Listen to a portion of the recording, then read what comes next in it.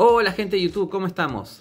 En esta serie de videos de cómo pasarnos archivos pesados rápidamente a, de celular a celular, ya vimos cómo utilizar el Quick Share, ya vimos cómo utilizar el Nearby, pero bueno, una cosa interesante es que el Nearby ya está para nuestros sistemas eh, de Windows, así que eh, les voy a mostrar rápidamente cómo hacerlo. Está en versión beta, quiere decir que puede ser que funcione como no funcione, depende de la computadora, pero bueno, lo importante es eh, que ya está para poder descargarlo. Yo ya lo tengo acá descargado. Eh, queda acá en la bandejita. Y en la, caja de comentarios le voy a poner enlace para poder eh, que ustedes lo puedan descargar. En este caso, como pueden ver allá arriba, dice WebLeo PC.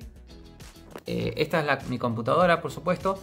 Pero es importante que ustedes cuando lo abran al programa le pongan acá que recibir de todos. Que le pongan recibir de todos.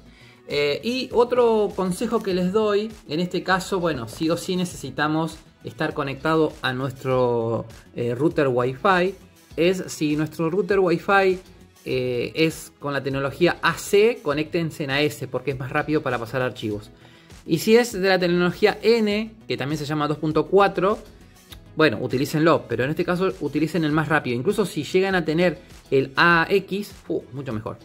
Vamos a conectar en este caso, yo tengo red AC nomás de 5.8 GHz. Me conecto porque se acuerdan que eh, en el video anterior habíamos hecho un tutorial cómo pasarnos con Nearby bueno, y no teníamos conexión a Wi-Fi. Pero en este caso sí necesitamos que nuestro, eh, la ayuda de nuestro router, por decir una manera, para poder pasar la información de nuestro dispositivo Android, en este caso el Motorola, a nuestra computadora. Lo que vamos a hacer es lo siguiente, facilito muchachos, tal como hicimos con eh, como hicimos con, con los anteriores videos. Acá tenemos el archivo de 1.81 eh, gigas. Bueno, entonces vamos a ponerle acá compartir.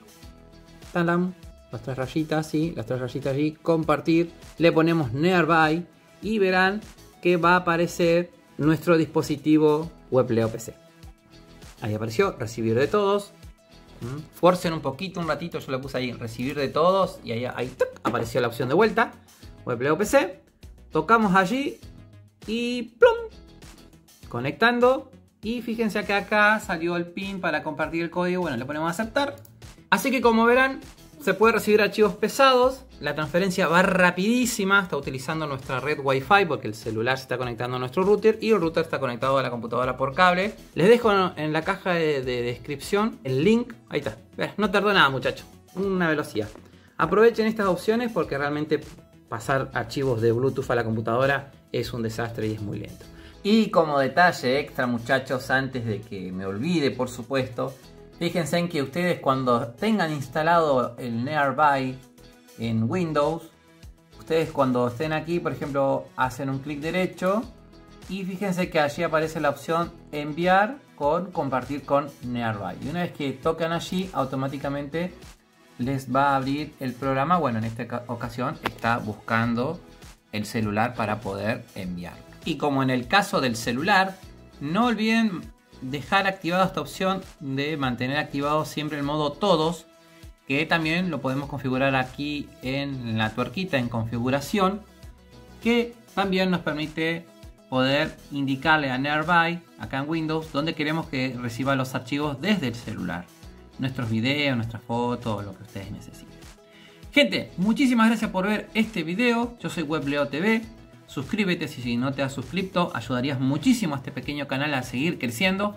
Agradecemos tu super like y desde ya muchísimas gracias por ver este video. Nos vemos en la próxima. Hasta luego, que tengas un excelente día.